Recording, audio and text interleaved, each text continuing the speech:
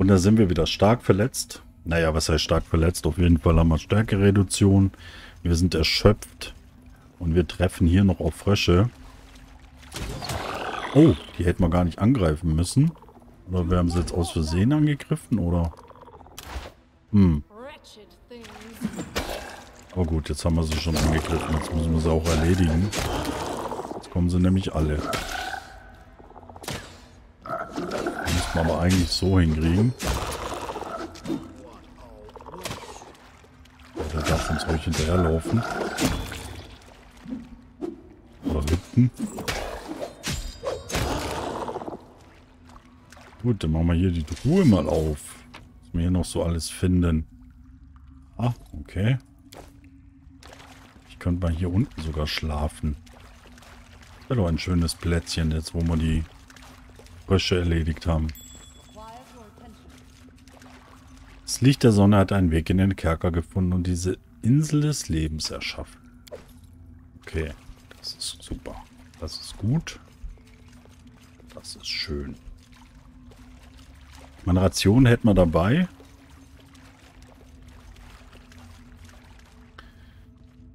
Bisschen Heilung würden wir vielleicht auch bekommen. Gehen trotzdem hier mal weiter. Wir haben ja schon Speicherpunkt gehabt, ne? Hier weiter. Eine Wurzel haben wir ja auch schon. Wir müssen eigentlich bloß noch mit der anderen Königin reden und dann können wir schon Tartuccio oder Tartuk, wie sie ihn nennen.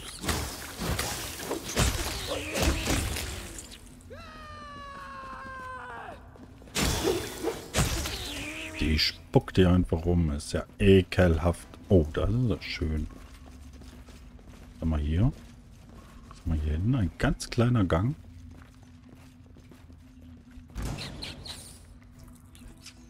Oh, da ist eine Riesenspinne. Oh, die ist schon tot. Bewegt sich nicht. Finde ich gut. Finde ich gut. Das könnte die sein, wo wir das Gebiss haben wollen, oder? Hier die Klauen. Kiefer. Ja, genau. Den Kiefer einer riesigen Spinne. Haben wir. Haben wir, haben wir, haben wir. Dunkle Wasser des unterirdischen Sees lässt den Rückschluss auf die Westtiefe zu. Ja, also ich möchte sie nicht ausprobieren. Ich möchte auch gar nicht wissen, was da drin ist. Gehen wir gleich wieder raus. Und hier oben waren wir noch nicht. Genau. Gehen wir noch da hoch. Dann müssen wir zum... Ah, hier ist ein Ausgang. Oder halt ja, geht noch woanders hin. Aber wir waren ja unten noch nicht. Nehmen wir werden erstmal hier runterlaufen. Oh, hier ist schön. Guck mal. Sieht aus wie, wie eine schöne, wunderschöne Halle.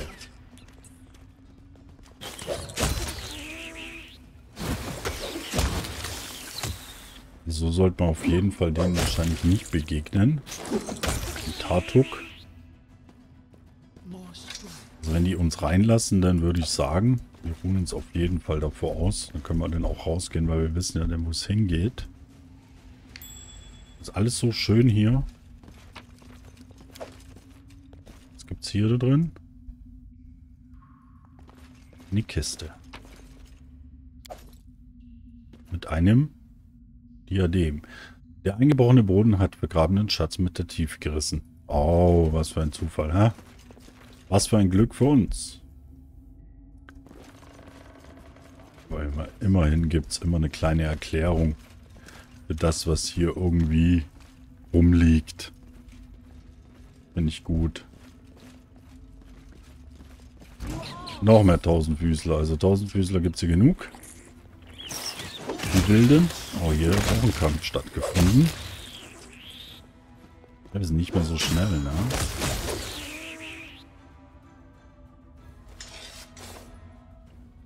Hier hat eine gewaltige Schlacht zwischen Kobolden und Winzlingen getobt.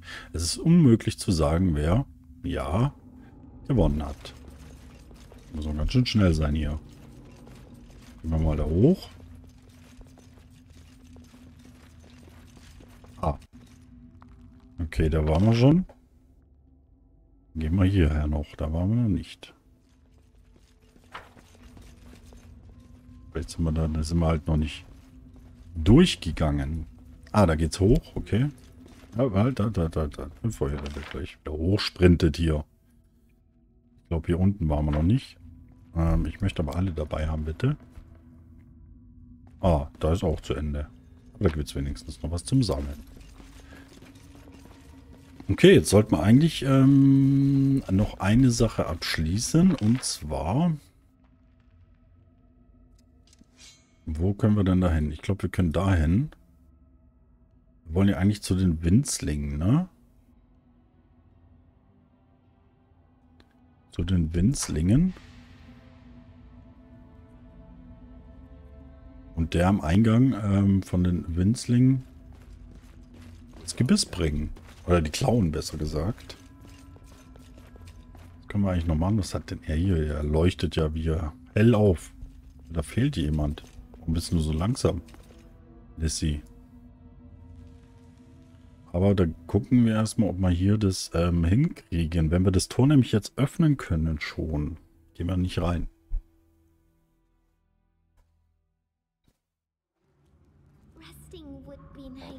Vorher müssen wir uns natürlich...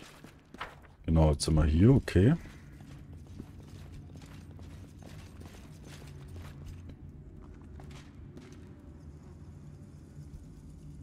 Okay.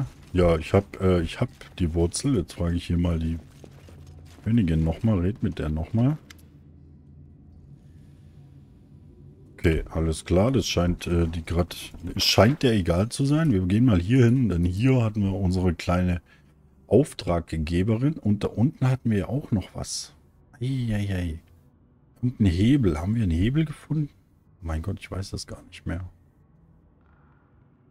Dann hätten wir nämlich hier noch was. Hier ist noch ein Kobold. Ach, der war der Kobold mit dem Schwert, ne? So, ihr sie hier. Äh, hier sind Mandibeln, um die du mich gebeten hast. Alles gut, ich mach Feinhelm. Nebenhebel für Brücke, mutiger Verbündeter. Ich niemand sagen, du nehmst Schatz. Okay. Naja, das nehmen wir doch, nehmen wir das an, oder? Wo ist die Brücke? Hier, glaube ich, ne? Hier unten ist, glaube ich, die Brücke. Ja, hier ist seine Brücke auf jeden Fall.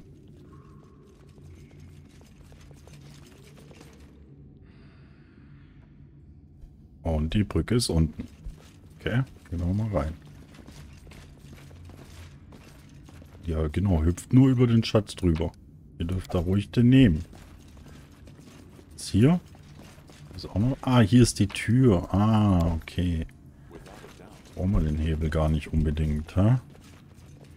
So, das war jetzt der Schatz. Okay, was haben wir denn da bekommen überhaupt? Bestimmt was ganz Tolles. Oh, ein Zweihänder. Ein Zweihänder, den eigentlich keiner gebrauchen kann, außer sie, ja. Aber weniger Schaden, wie das Ding macht. Und ist der gleiche, ne? Ist auch Hiebschaden. Vielleicht sie. Die kann das gar nicht tragen, ist viel zu schwer. Puh, okay. Naja, gut. Haben wir. Haben wir, haben wir, haben wir. Passt. So, jetzt bräuchten wir theoretisch, also er hat Konstitutionsschaden. Jetzt bräuchten wir theoretisch drei Tränke und eine vollkommene Erholung oder mehrere Erholungen können wir uns jetzt aussuchen. Aber das würden wir dann nicht hier unten machen, um Ration zu versemmeln. Sondern, oh, das müssten wir draußen machen.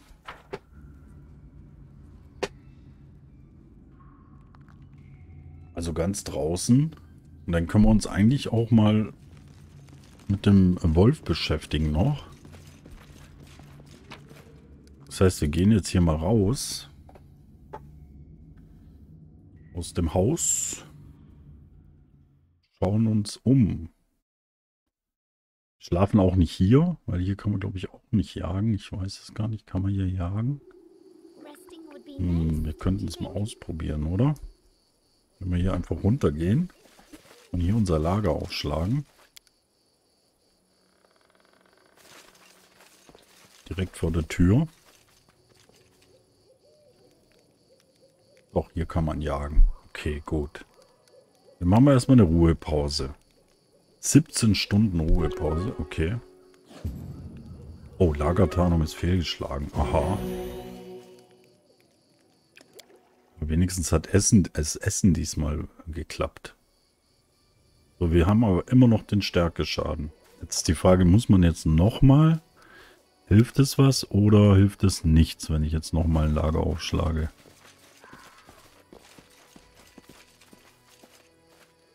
Ob wir danach mehr, wahrscheinlich, ne? Er, er soll kochen. Hahaha, ja, nee, ist klar.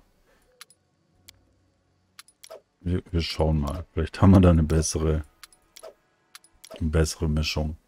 Hm. Nee, er kann wirklich fast am besten kochen.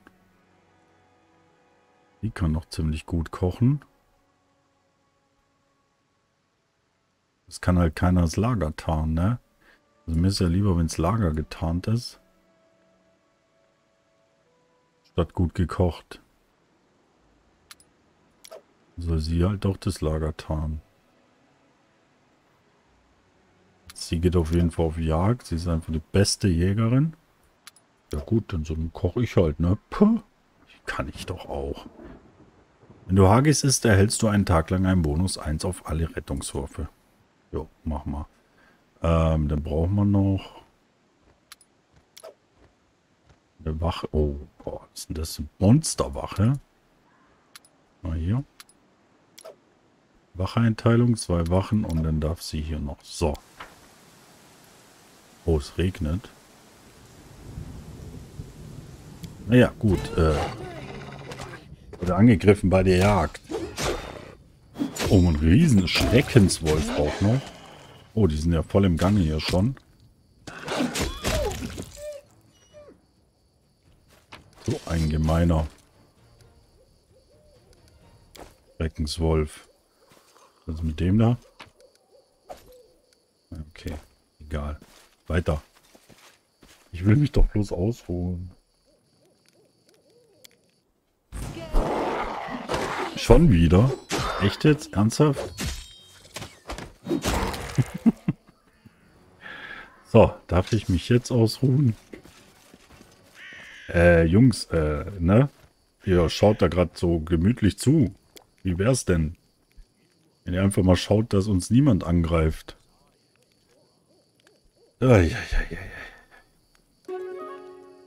Okay, Jagd war erfolgreich. Lagertarnung war erfolgreich. Ah, und ich habe das Haar sehr versaut. Werde schon wieder angegriffen. Ey, das ist doch nicht wahr, oder? okay, das ist echt ärgerlich jetzt. Regnen tut es auch noch. Äh, okay. Also ich bin ja immer noch nicht... Ist, okay. Wie, wie oft soll ich das jetzt noch machen? Jetzt. Okay, er hat jetzt noch seinen Konstitutionsschaden, aber das ist mir jetzt völlig egal. Also das ist ja wohl... Also dreimal wurde ich auch noch nicht... Wurde, oder kein dreimal wurde ich auch noch nicht angegriffen. So, jetzt latschen die natürlich im Schneckentempo dahin. Ich meine, ist ja beeindruckend, aber dass ein dauernden Blitz neben mir einschlägt, das ist schon ganz schön bedrohlich. Eieieiei. Gut, gehen wir mal Richtung, wo wir eigentlich hin wollten. Vielleicht regnet es ja nachher nicht mehr, wenn wir wieder rauskommen. Wäre auch ganz schön. Hier hin. Hierhin wollen wir. Ach ja. So ist das. Wo sind wir jetzt eigentlich? Hallo? Ah, hier. Mal gucken. Sie hat ihr Kätzchen doch dabei. Das ist schon die ganze Zeit aktiv hier, ne? Okay, wir gehen jetzt dort rein. Machen wir kurz einen Speicherpunkt. Können wir da rein? Jawoll. Offenes. Halt nein, wir wollen ja alle mitnehmen. Nicht nur einen. Okay, jetzt wir drin. Harem ist vorgegangen sozusagen. Mhm, was macht er da Schönes? Umriss eines unbekannten Artefakts verschwindet in dem Portal und Tatuccio dreht sich zu dir um. Er sieht noch immer wie ein Kobold aus, scheint es aber für sinnlos zu halten, an seiner Tarnung festzuhalten. Oh, mein kurzentschlossener Rivale, ihr kommt zu spät wie immer. Ein gut gemeinter Rat. Nehmt nie an irgendwelchen Rennen teil. Geschwindigkeit ist nicht eure Stärke. Hm. Weiß, du bist ein pitaxianischer Spion. Aber ihr kennt meine Mission doch gar nicht und ihr werdet sie auch nie erfahren, weil ich nichts sage und wenn es nur darum geht, euer enttäuschtes Gesicht zu sehen. Äh, was hast du gesucht und für was hast du das alles gebraucht? Halt mich nicht für einen Idioten, ich werde euch nichts sagen. Abgesehen davon, dass ich euch töten werde. Ach übrigens, wusstet ihr, dass ich euch töten werde? Okay, genug. Wir werden kämpfen, um den Streit beizulegen. Ja, da bin ich mal hier voll konsequent. Und ähm, werde hier erstmal äh, und Taktik einführen. So, was habe ich? Leichte Wunden verursachen. Göttliche Gunst. Habe ich irgendwas Flächenmäßiges? Ähm, schützende Aura. Gerechtigkeit. Furcht, ja, das könnte ich einsetzen hier, oder? Oder Unheil. Aber das geht bloß auf eine Person, ne? Ja, komm, ich probiere es mal aus. Oder? Wird es überhaupt was bringen bei einer, einer Kreatur? Ja, der ist jetzt fürchterlich gefürchtet. So, jetzt kommen die nämlich hier alle. Voll, äh... Ach du Hammer, da Hawa. Okay, der kennt äh, keine Gnade. Gut, dann müssen wir wohl den zuerst angreifen. So, Harim. Ähm, du darfst... Oh, da kommt von hinten jemand. Du darfst auch ihn angreifen. Okay, das klappt nicht. Und nochmal da einer. Ähm, Valerie, du darfst ihn mal angreifen. Also darfst ihn auch angreifen, ne? Nicht nur hinlaufen. Ah, hey. Arim. Gut, wir müssen erstmal ihn ein bisschen heilen hier. Ebenso machen die das nicht gerade.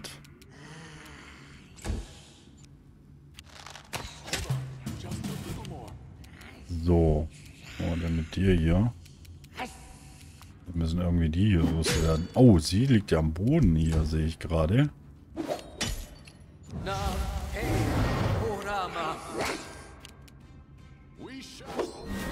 Ah, der hat Spiegelbilder. Hm. Der hat gemeine Spiegelbilder. Ähm, du darfst... Genau, das hätte getroffen. Die ganzen kleinen Winzlinge hier. Ne, Kobolde sind das ja. Das sind ja gar nicht Winzlinge. Komm, jetzt treff halt wenigstens auf. So. Dann äh, darfst du nochmal versuchen, den zu heilen. Und du darfst nochmal versuchen, ihn zu heilen.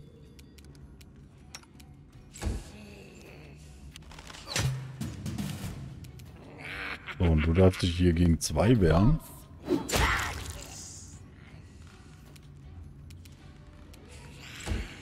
Und dich nicht bewegen. Jetzt kommt er hier wieder. Ja, Gelegenheitsangriffe sind alle daneben gegangen, wie ich das sehe. Okay, er ist erledigt. Na gut. War gar nicht so schwer.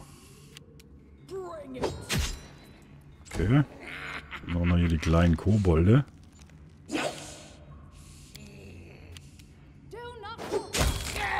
Ja, ja, ja, ja, ja. Uiuiui. Okay, noch zwei. Ne, drei.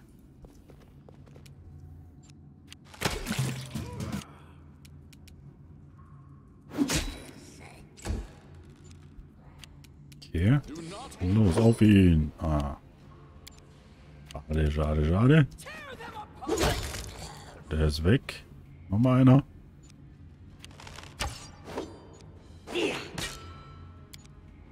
So, Batterie. Los, mach ihn weg. Oh, Ich habe doch gesagt, du sollst ihn wegmachen. Nicht nur ankratzen. Und schön hartnäckig. So, der ist auch weg. Jetzt haben wir noch einen. Ja. Gut. Der ist tot. Okay. Wir haben Patuccio getötet. Müssen wir noch, noch Kästen davon erzählen. Toll wir gekämpft haben. Wir sammeln jetzt mal alles ein. Eine Art Podest, das aus gewundenen Baumwurzeln gebildet wird. Wie es scheint, lag hier bis zu bla bla bla bis vor kurzem ein langes und schmales Objekt. Jetzt fehlt jede Spur. Langes und schmales Objekt. Das ist wahrscheinlich das Relikt, was er unbedingt haben wollte, was er auch bekommen hat. Das ist natürlich gemein. So, jetzt gehen wir hier mal zur zu den Kobolden und Winzlingen. Am Ausgang der Aonale triffst du Bada, die Königin der Winzlinge und Rußschuppe, den Häuptling der Kobolde. Sie sehen sich misstrauisch an und können ihre Wut kaum zügeln, aber niemand greift an. Du Versprechen finden Wahrheit. Bald uns sagen. Du finden Schamane? Ah, ich werde die Wahrheit sagen. Tatuk hat alle getäuscht. Er war es, der den Kobolden den Aonas gestohlen hat, um einen Krieg mit dem Winzling auszulösen. Er hat mich angegriffen und wurde getötet. Jetzt bin ich im Besitz der beiden heiligen Äste. Heimtückisch Verrat. Ich kenne Verräter mit violetter Haut. Rechtschaffen gut. Beide Äste ihren Besitz angeben. Nun, da ihr die Wahrheit kennt, müsst ihr euren sinnlosen Streit beilegen und wieder in Frieden zusammenleben. Der wahre Aggressor hat seine gerechte Strafe erhalten. Der Häuptling hält den heiligen Ast in seinen Händen, seine Augen sind voller Sorge. Viel Blut vergossen, nicht einfach vergessen, aber wir versuchen. Kein Winzling jemals wieder Böses tun, tut Freund. Willkommener Gast, immer.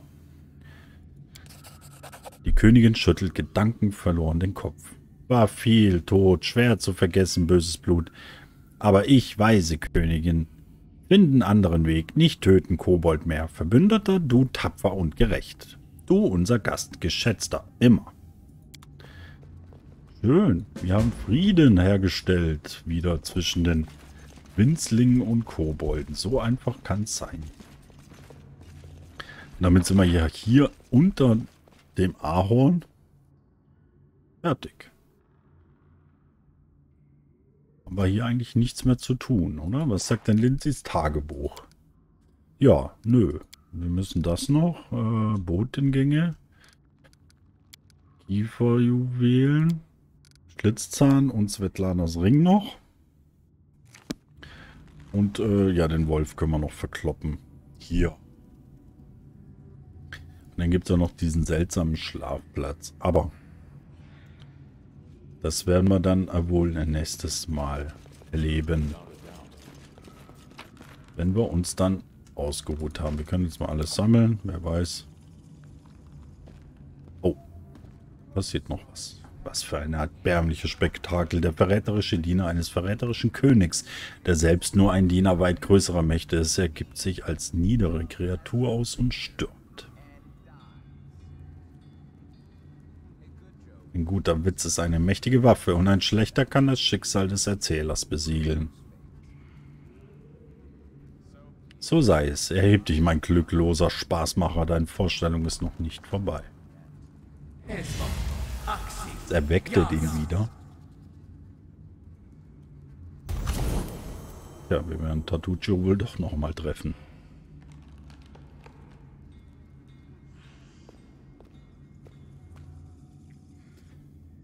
Schlau und gerissen.